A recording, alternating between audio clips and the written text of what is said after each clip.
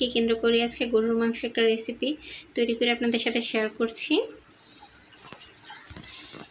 এর জন্য প্রথমে এখানে আমি হাফ টেবিল চামচ নিয়েছি জিরা, নিয়েছি জয়ফল, নিয়েছি চারটা এলাচ আর নিয়েছি দারচিনি, এগুলোকে টেস্ট করে নিব। এখানে নিয়েছি এক কেজি আমি গরুর মাংস, মাংসটা হাড় চর্বি সব সহ নিয়েছি। এখানে নিয়েছি একটা পেন মতো পেঁয়াজ, কুচি নিয়েছি সেই মশলাটা যেটা আমি পেস্ট করে নিয়েছি। মশলাটাকে পেস্ট করে নিয়েছি। আর এখানে নিয়েছি দুই টেবিল চামচ মরিচের গুঁড়া, এক টেবিল চামচ হলুদের গুঁড়া।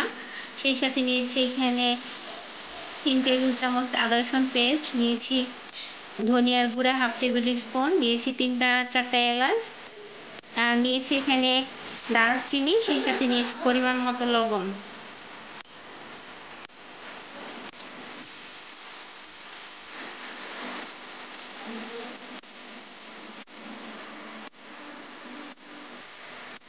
পেস্টটা এখন মাংসের ভিতরে আমি ঢেলে দিচ্ছি। দিয়ে একে একে মশলাগুলো সব কিছু এখানে আমি এখন দিয়ে দিব। জালটা যে যার পরিমাণ মতো দিয়ে দিলাম, আমি এখানে দুই টেবিল চামচ মরিচের গুঁড়া দিয়েছি। এখন সেই মশলা বাটাটা আমি এখানে দিয়ে দিলাম।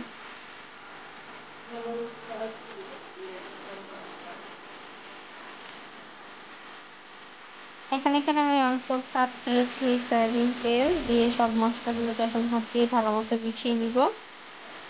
ভালো মতো মিক্স করে মশলাটা নিচ্ছি।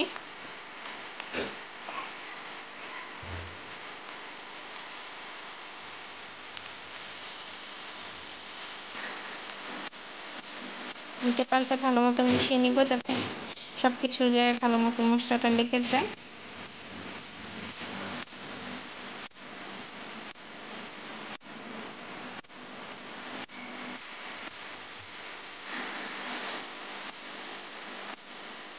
ম্যারিনেশন করে রাখার কোনো প্রয়োজন নেই এটার সাথে সাথেই রান্না করতে পারবেন। এখন আমি এখানে কিছুটা পরিমাণে পানি দিয়ে দিচ্ছি।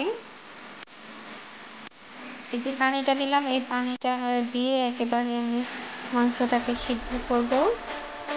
প্লাস এটা দিয়ে একটু সামান্য পরিমাণে গ্রেভি থাকবে এক্সট্রা আমি আর কোনো পানি ব্যবহার করব না, এই মাংসটা এভাবেই আমি রান্না করব। এই, এইভাবে রান্না করলে মাংসটা কিন্তু খুবই টেস্ট হয়। দেখতে কিন্তু খুবই অসাধারণ লাগে। চুলাটা আমি একটু জ্বলিয়ে দিয়েছি।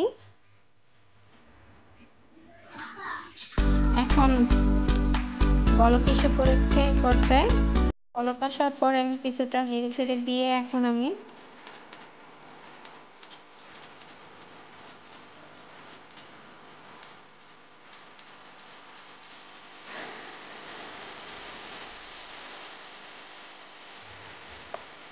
ঢাকনাটা দিয়ে দিয়েছিলাম। এখন আবার ঢাকনাটা উঠিয়ে দেখাচ্ছি। এখানে অনেকটা পরিমাণে পানি কমে গেছে।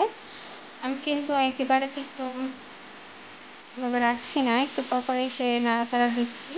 আর এটাকে আমি স্লো হিটে কুক করব যাতে মাংসটা সফট হয়ে যায় আর একেবারে গলে না যায়।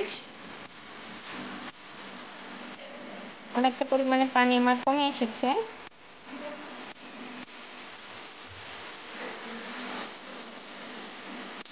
ঝোলটা আমার প্রায় অনেকটা পরিমাণে শুকিয়ে এসেছে পানিটা। এভাবে মাংসটা রান্না করলে কিন্তু খেতে খুবই সুস্বাদু হয়। এটা রান্না করে ট্রাই করে দেখবেন। খুবই মজার একটা রেসিপি আমি আমার প্রায় শুকিয়ে গেছে আর মাংসটা রান্না আমার হয়ে গেছে। তৈরি করে ফেললাম খুবই অল্প সময়, অল্প কিছু উপকরণ দিয়ে গরুর মাংসের ভুনা রেসিপি প্রতিদিনের আমার আমার আজকে ভিডিওটি ভালো লাগলে অবশ্যই আমার সাবস্ক্রাইব করতে ভুলবেন না। সেই সাথে পাশে থাকা বেল আইকনটিতে অবশ্যই প্রেস করে রাখবেন যাতে কোনো ভিডিও দিলে আপনারা পেতে পারেন। আজকের মতো এখানে বিদায় নিচ্ছি। সবাই ভালো থাকবেন, সুস্থ থাকবেন আমরা আল্লাহ হাফেজ।